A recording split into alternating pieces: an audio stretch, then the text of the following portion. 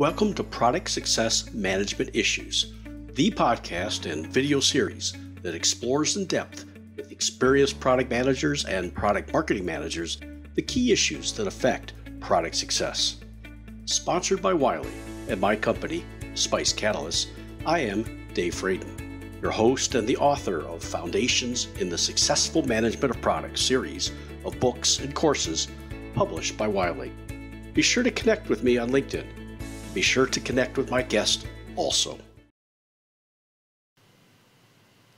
Welcome. My guest is Clarence Hempfield, who's Vice President of Product Management in Location Intelligence at uh, Pitney Bowes. Welcome to the uh, show, uh, Clarence. Thanks for having me, David. Pleasure to be here. The uh, tell us a little bit about what you do uh, at Pitney Bowes and what the location intelligence is all about. Sure. So effectively, I run our location intelligence business within Pitney Bowes. So over the years, PB has moved from being kind of a, a mail-centric technology provider towards a whole range of things, including shipping, e-commerce. But a few years back, uh, dating back to 2004, they acquired a series of software companies. One of which was a company called MapInfo. Another was Group One Software. I originally came from a small company based in the DC area called Group One Software those two companies coming together formed what is now Software Solutions. We've had a series of acquisitions since to grow our software solutions business. But to get back to kind of my role within the company, so I run what was effectively the old MapInfo business or location intelligence business. So for those who aren't as familiar, it's using kind of address centric information, your addresses tied to the physical location that it occupies on the globe. Uh, so GPS uh, uh, coordinates, if you will. Uh, and then from that information to be able to determine a series of uh, useful pieces of information that many of our customers, whether they're in public sector, insurance, telecommunications, et cetera, uh, will use it to glean information about their customers, about various assets that they're managing, uh, and, and the, the fusion of the two. Gotcha. Yeah, I, we were chatting earlier. I spoke to a worldwide meeting of Pitney Bowes uh, product managers back in 2012, and I, I, write about it in my book, uh, Building Insanely Great Products. And it was quite interesting that uh, the fellow speaking uh, immediately ahead of me was the chairman of the board. And at that time, you guys were about a $5 billion a year company, and you were acquiring these data firms in the UK, if I recall, in Denver. Uh, Singapore, I think, uh, certainly Australia, and uh, we're selling this data to government agencies and to uh, uh, law enforcement and that type of thing. And and he was talking about how critical the role of product management was at Pitney Bowes. And most people don't know what Pitney Bowes does uh, because they've never seen one of your machines putting postage on a lot of stuff. Uh, I used to have several of those, but the little ones, of course. And uh, and he said that uh, Wall Street was hammering Pitney Bowes because they figured the mailing of stuff, physical stuff, is going to go away with the advent of the of the internet. Uh, so it's been a very nice strategic pivot. But on the other hand, with uh, outfits like Amazon around, uh, I try not to go to the store anymore because I can't find anything. Whereas I can go on Amazon and two or three clicks, it shows up miraculously at my doorstep uh, a couple days later. That's a perfect example of how both the hardware side of the business as well as the software part of the business have kind of collaborated to help bring PB from that kind of back office postage oriented business both on the desktop, as you mentioned, but also the large inserter and mailing machines that large organizations, banks, et cetera, will utilize. But to your point, as companies began to ship like Amazon, eBay, et cetera, much, both of which are uh, large customers of ours to help with that shipping part of the business, particularly shipping uh, uh, uh, uh supplies, but products to customers and other around the globe. We help with a lot of that cross-border shipping for those organizations. But then those same organizations will use, particularly our location intelligence technology, when they want to better understand their customers, help create kind of profiles of customers so they can target both their existing customers more effectively and also find prospective customers that can look like those customers better. Um, but also, we have a, a, wide array of kind of data management technologies to help them to better identify their customers across their various operational systems within their organization. Yeah, and the fascinating thing is that you guys are making a successful transformation to a digital world. Uh, many companies struggle with that. Uh, you know, Apple was hammered for years about being just a hardware electronic gadgets company. And Tim Cook, three, four years ago, started talking about their services business. And Wall Street has just begun to pay attention. And the PE ratios on Apple have gone up from about 12 to the last time I looked at, at about 20. Yet uh, Amazon is, I think, up around about 50. And we'll, we will not talk about Tesla, but uh, there's only seven moving parts in a Tesla car, which is pretty remarkable. So with a software upgrade, you can change how the switches look and which, which knobs you, you dial and that type of thing. I wanted to talk a, a, little more specifically about how your product management is organized. How, how many product managers do you have uh, reporting to you? So specifically in my group, there's 17. And are all of they in Washington or are they uh, worldwide? No, they're, they're scattered around the globe. Probably my largest concentration are based out in our Boulder offices in Colorado. Um, but I have people from uh, basically in all portions of the U.S., uh, uh, a couple in the U.K., uh, another in uh, India as well. Um, uh, yes, we're completely spread out. how are they organized? Broadly speaking, they're organized around the ways in which we deliver our products to our customers. So within my business, we have some desktop oriented products, we have some server based products, and then what we're doing in the cloud. So effectively, my product managers are scattered across kind of those three areas. So there, you have product managers for the cloud, product managers for the desktop, and so forth. Yes. How do you deal with the uh, um, a user, for example, that's moving between those different platforms? That's a great question because many of our customers do. Now, for us, uh, we have some customers who are uh, who will utilize one of our longest running products on the desktop but they oftentimes require some of our server based technology that we've developed over the years. So I'll use that as a good example. Those two product managers, the one who manages the flagship desktop product, as well as our primary server based solution, will, will work together almost on a daily basis to compare notes from their own individual customer uh, interviews, but also at times when they'll interview customers together. Um, so they spend a lot of time both together as well as communicating with each other's engineering teams to share the insights that they're gathering across their customer engagements. How about the user interface? Um, so that's a great question in the sense that uh, one, we spend a lot of time refocusing our efforts on kind of user experience, user design across all of our various products. Uh, uh, where you might be going with the question is uh, we try to do is make sure there's consistency across our various products, even though the users might be very different. Um, somebody who traditionally is using our desktop product, for example, isn't necessarily the primary user of one of our server-based technologies. But if they happen to uh, change roles and they have to start to interface with our server-based technology, we want it to be familiar to them to cut down on that uh, learning experience so they can get up and running with that product much more quickly. What would be the persona of each of those? Uh, I'm going to use the term platforms: cloud-based, server-based, and, and uh, uh, mobile. So generally speaking, what we try to do is appeal to kind of business people. Um, uh, location intelligence is effectively built on top of a much more technical topic called geospatial information systems. Um, historically, GIS was used by specialists within an organization.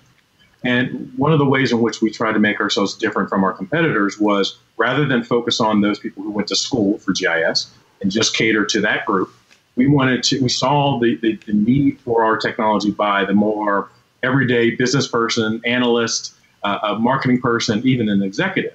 And so, to get back to your question, we've always tried to gear our products towards that type of user being able to be successful with our products. So, at times, we may not offer quite as many pieces of, of, of functionality uh, in favor of ease of use.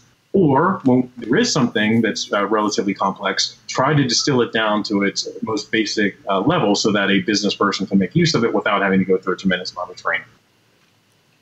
So, uh, for the cloud uh, customer, what would that persona be, for example? Okay, great. Uh, let me let me pivot on that on two areas. We have some developer-oriented cloud solutions, which a developer, some soft, a smaller software company who may want to include some of our software and data, but doesn't want to uh, install it physically into their product might use those APIs. So that's more of a very technical uh, um, yeah. uh, user. Uh, we have a couple of uh, uh, SaaS applications where, again, it's a business person um, who ha- we have a fairly lightweight application so they can interact with. So, for example, in, in the US, we have something called geotax.com. It's a perfect application for small businesses, which traditionally we don't sell to as a business, but small businesses who sell a product or service but they need to accurately identify the taxes they should be charging for their customer.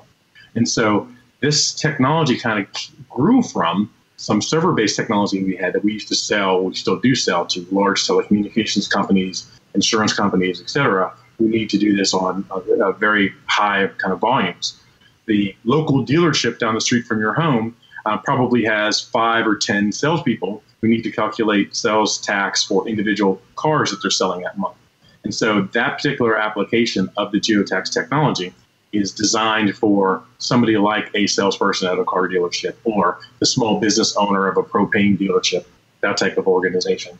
So again, kind of business people, not technical, uh, who need to get uh, kind of access to the technology, get to an answer very quickly, compared to the APIs, which are more oriented towards a developer. Gotcha. Uh, how are those 17 product managers organized? Do they all report to you or do they report up to directors? They report up to directors, and those directors report to me. And then who do you report to? I report to our chief operating officer within the software unit. Perfect. That's what I've been advocating worldwide. Uh, the next thing I'll advocate is that you change your title to Vice President of Product Success. Great suggestion. And, and change the titles of all of your product managers to product success managers. And the reason being it is I put a funny little memo on my uh, uh, in a blog on my on my Spice Catalyst website that said uh, the reason I advocate the change is that whenever I go to a cocktail party and there's a very nice looking lady there, I start talking to her, and she says occasionally, "What do you do?" And I say, "I'm a product manager." And she says, "What's that?" Yes. I said, "Well, I try to figure out what our customers want to do, and I define their personas, and uh, I do market research and competitive research, and then I do product positioning, and then I identify target markets. And usually, before I finish the first phrase of that, she turns and walks away." So I, I, say in this humorous memo uh, that I encourage people to download and doctor it up and send it to their boss, and that uh, if you would allow me to please change my title to Product Success Manager, then maybe I could get married, and if I do, I'll invite you to the wedding. but you make a great point, though. A lot of times, what we, we spend a good uh, proportion of our time on is, is helping our customers be successful. So, uh, well, I think it and the product and the product too. Absolutely. And so while you said it's somewhat in jest, there's a lot of truth to it, and that's where we spend most of our time, anyways. Yeah, it was a couple months ago. This uh, we're recording this in where was it? September uh, 2018. Uh, I was in uh, Bangalore, uh, Manipal ProLearn University, of which uh, I'm. A, they call me a distinguished professor, but my daughter still won't give me any respect. So and they had me speak at uh, Dell, Philips, Himalaya Drugs, Bosch, and Samsung. And I was advocating the title change. And uh, when I was chatting with the vice presidents of product management afterwards, they said dozens of their product managers came up to them asking if they could change their title. Interesting. Uh, one interesting thing is one of those companies who will remain un, uh, unidentified says the parent company back in Korea will not allow them to change their titles. I said, well, just don't show them your business card. You know, I mean, exactly. For your product managers, what are their roles and responsibilities? So, probably at the, the most basic level, we, we do treat them as if they own the P&L for their individual product or products. Some of them manage multiple products. And so, uh, yeah, I was looking at uh, um, uh, some of the questions kind of more broadly. And, and so, while they're the place where it stops at the end, they're the ones who, whether it's myself, our COO, or our, the president of our business, when we ever have questions about the profitability of a product, we always go to product management first. But they are attached to the hip uh, uh, with their product marketing uh, person. Uh, because they're an excellent team in that the, the, product manager owns kind of everything. They spend a lot of time not only with customers, partners, uh, the engineering team, of course, but oftentimes they have their product marketing person along with them. And, and between the two of them, uh, I, I, try to uh, uh, require that they spend as much time out talking to customers together as, as, as possible. Uh, because they both kind of listen oftentimes different ways. They'll pick up on different things. And between the two of them, it, it then helps the product uh, marketing person do a better job of communicating our products to kind of the outside, wider world um, more often than uh, the typical product uh, manager who's generally looking for, he or she is tending to look for the next new product feature, the next new innovation, and not necessarily a language on how best to uh, sell that product in the market. The messaging. Absolutely. Yeah. Uh, does the product marketing manager report to the product manager? Uh, currently in our organization, no. So product marketing reports up through our marketing organization, ah. but there's this kind of informal team that they're on. The the product managers then report up to you, right to the COO. Yes. They report up to the VP of marketing, yes. uh, who then in turn reports to the COO. Uh, yes. Okay. Uh, and then, uh, so it sounds like they're roughly organized. Your guys uh, and gals are uh, what Pragmatic calls inbound product management, and the marketing guys are outbound. Yes, that's the easiest way to look at it. And we, we spent a lot of time sending product managers across Pitney Bowes to the pragmatic classes. And over time, we've kind of embraced that model as well. Yes. Gotcha. Then, uh, when you started with this company that was acquired by Pitney Bowes, um, how big was it? Uh, or how big was it when you started? And more importantly, the what differences do you see in product management, or I should say, product success management, uh, from uh, when you were smaller to now being in a multi-billion dollar corporation? Sure. So I, I want to say when Group One was acquired, we were around a $250 million business. Uh, um, so you know, we're you know, more than double that presently within software solutions. I always have to be careful because we generally don't report revenue below uh, the business unit level. That's okay. Wall Street's tuned into this. um, I, I, think the, the biggest uh, changes I've noticed over the years were uh, Pitney Bowes as a whole takes, uh, particularly under current leadership, Marc Lautenbach, our, our CEO, takes uh, product management extremely important. Uh, I would even argue that with our, one of our first CEOs, at least when I came on board through the acquisition, uh, Murray Martin, um, even back towards my time as part of Group One Software as a separate entity, product management was seen as a necessary evil back then, whereas today it's a, a, vital, important piece of the organization that is looked at to drive the business not only today, but where we're going in the future. That's probably been the biggest uh, change over the years. Why did that occur? Why did that change occur? Um, well, I think some of it was due to Marc's past experience with IBM. So he came to us from from IBM. Uh, he was always, when he ran a significant part of their business, he worked closely with kind of product management leadership there. And so there were certain elements that he wanted to uh, bring the Pitney Bowes as, as, well. And some of his senior staff, so the president of our business, uh, Bob Guidotti, had joined us from IBM as well. And those two saw the world very similarly, uh, uh, where product management takes a, a leadership role within the organization. And so they helped kind of facilitate change within the business to put kind of product management on the forefront of growing the business. Plus, it sounds like you guys uh, stepped up to the plate and have been doing a good job. Like to think so, yes. Yeah. The uh, you may not know this, but when I was researching uh, the topic for my books and for my uh, courses, uh, I couldn't find necessarily the title product manager at IBM. Hmm. They call it all sorts of different things. Some of them are called analysts. Certainly an IT business analyst. Yeah. I did a comparison of their competencies to a product manager's competencies, and they're very similar. Uh, except in their case, they get the specification uh, from the customers what they want in the IT world. Uh, do you have any comments about the titles at uh, IBM and, and how they differ or are the same?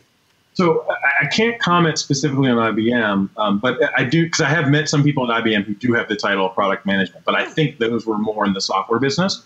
Yeah. Uh, but I haven't studied it wide enough to want to comment broadly. But to your point, as I've met people over the years at various events and others in my network, you're absolutely right that every organization is a little bit different. And there are some who seem to go out of their way not to call people product managers, even though when you look at their description, their job description, what they're doing is playing a product management or product success role. Um, and I, I, I, can't quite wrap my mind around what is it within those organizations that prevents them from just labeling them what they actually are. It's because they want to get married. what, uh, when you're hiring a potential product manager, what uh, competencies or skill sets do you find uh, most important? Great question. Um, I, I, try to look at the individual and and you know, are they an analytical person? Uh, uh, let me back up for a second. I I'm not a huge fan of hiring somebody who has 10 years of experience in the space that I'm in. Um, because I think there are many technology you can learn in, in, any industry that you're in. So I look for uh, good analytical skills of somebody who's a people person, somebody who's willing to kind of take chances, you know, kind of make um, uh, educated guesses. We're, we're, expecting you to create business plans and, and, and sell us on how successful something will be. But I guess the point I was trying to make is you never can have all of the information that you want. At some point, you have to be comfortable in the assessment you've made and, and make the business uh, case for why we should do something and take a little bit of a risk. And so over the years, I have been a, bit frustrated with some who, are with the organization who were always waiting until they had every piece of information before they would make that decision. And, and things are moving much too quickly for you to feel that you have all available information because that's not possible. But yeah, it's really around analytical skills, kind of being people oriented, um, uh, that kind of a thirst for knowledge, uh, and just uh, willing to take calculated risks. And the instincts of doing what will help the product be successful. Absolutely. Yeah. Absolutely. Uh, through much of my career, up until only up until recently, when we have big data available, I never had the information I needed to make decisions. But because I tried to get as close to my customer as possible, which is what HP taught me, uh, you kind of do because you watch yeah. what they do and you you interview them and ask questions and you you stay in the area of the of the problem so that the engineers can work in the world of the solution, and instinctively you would just feel uh, what was right. That's right. The um, is there any of those competencies that you value the most? Um, the most. Uh, if out of the four that I mentioned, probably the, being able to take, being comfortable with taking a calculated risk. I, I think that those others um, help underpin it. But uh, if you're somebody who is too tentative, it's it's tough, I think, to be successful over the long term in a rapidly changing technology environment, which we've been in for a very, very long time. Uh, uh and so uh, I guess on some level, I'm assuming the others, but then I really do value those who are willing to take calculated risks. And and on some level, you either reap the rewards or not necessarily uh, you get penalized for taking chances because that's something at least with my, my team I try to reinforce that if you take a chance on something and it's not successful, you're not getting fired for that. Um, if anything, you're getting fired for not taking chances and, and just being content on sitting still. So I, I, just wanted to clarify that that there is no real penalty for uh, failure against taking a calculated risk. Well, as you know, I want to go back to your uh, uh, P&L general manager type uh, product uh, manager. Uh, the whole field started in 1932 with brand management at Procter and Gamble. They were called brand managers. That I found in my research that Dave Packard and the other founders of HP uh, through Fred Terman, knew uh, uh, McElroy, uh, I forget his first name, who wrote that memo.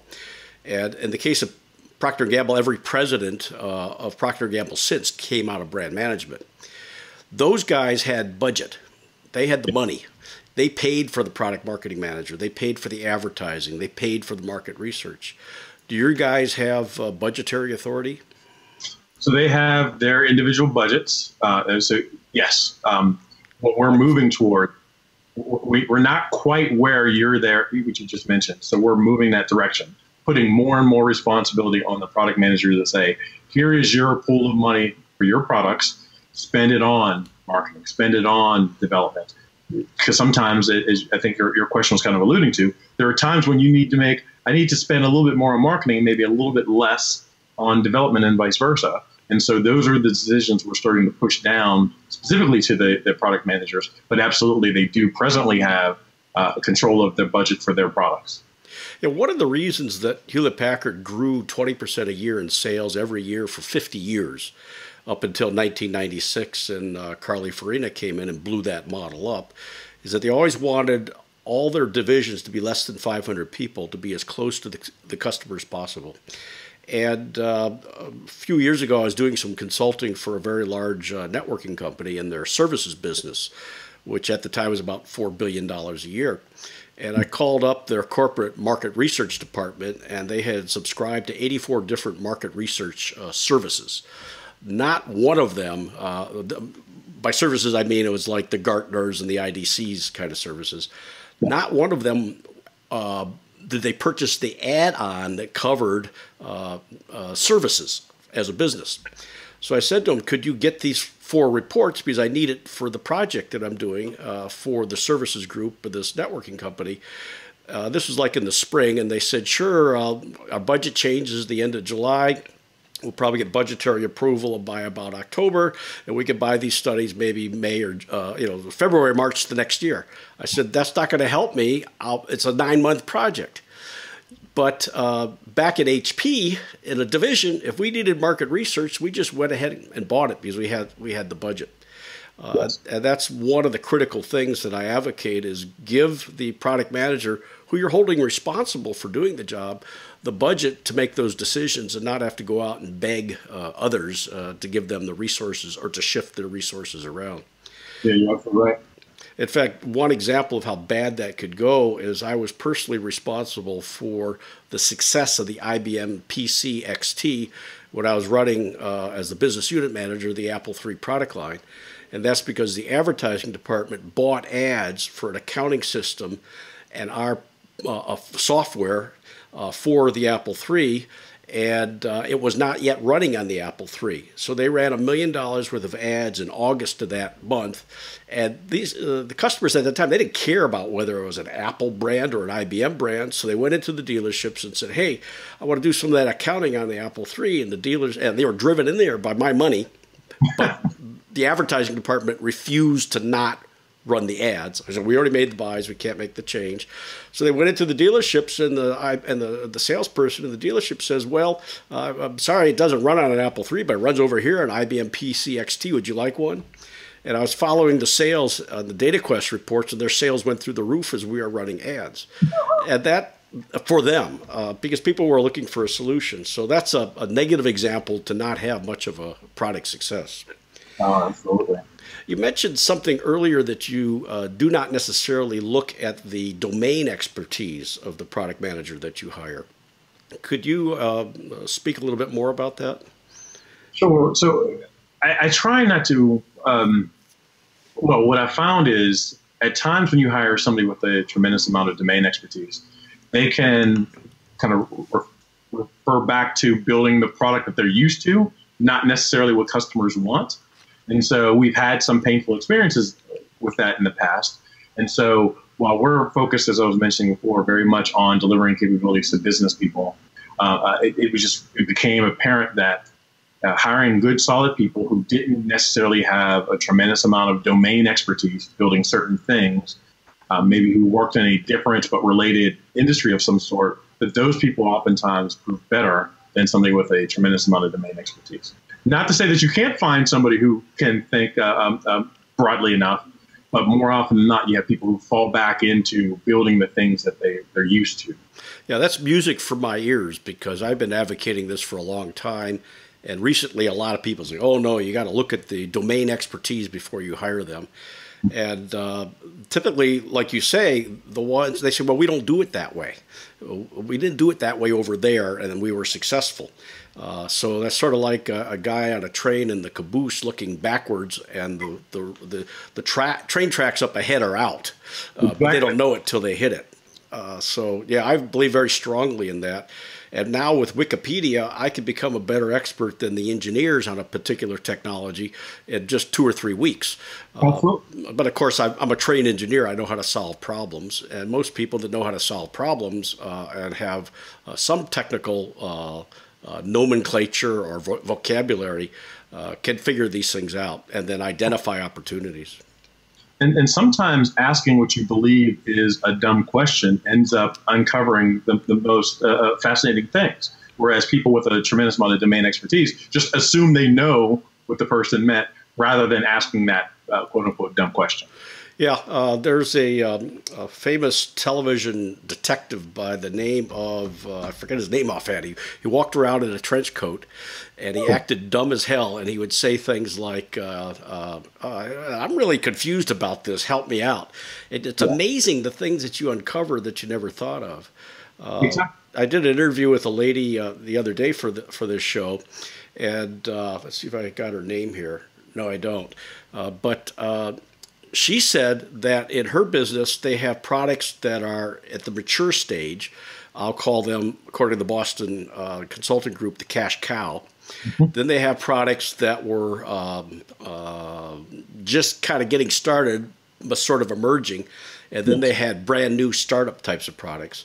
So they have their product managers organized in those three categories, which is a brilliant organizational structure because typically senior management can't keep the parameters and the metrics clear on each of those three things. Uh, typically, the, you know, if it's a startup kind of thing, it's, well, we got to make twelve billion dollars next year, and this little thing here is only hundred thousand dollars. So therefore, your baby is ugly, and we don't want anything to do with it. That's right. Any thoughts on that? Yeah, yeah. I, have thought about structuring our group that way as well because we have products along kind of that same spectrum ultimately, I decided to go the approach that I had mentioned to you a bit earlier, even though within that, there are certain people working on kind of the cash cows and others who are working on kind of the, the startup types of technologies, uh, but still within those those categories.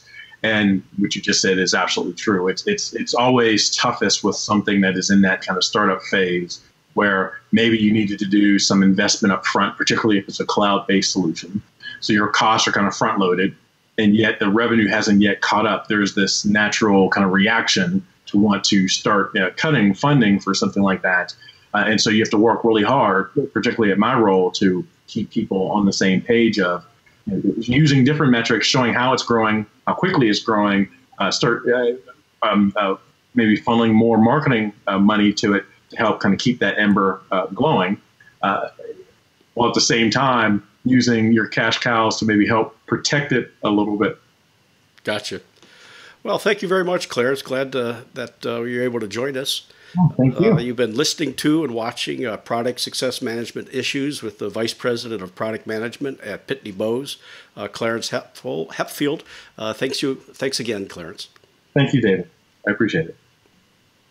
Thanks for joining us on Product Success Management Issues. I am Dave Fradin. Be sure to connect with us on LinkedIn.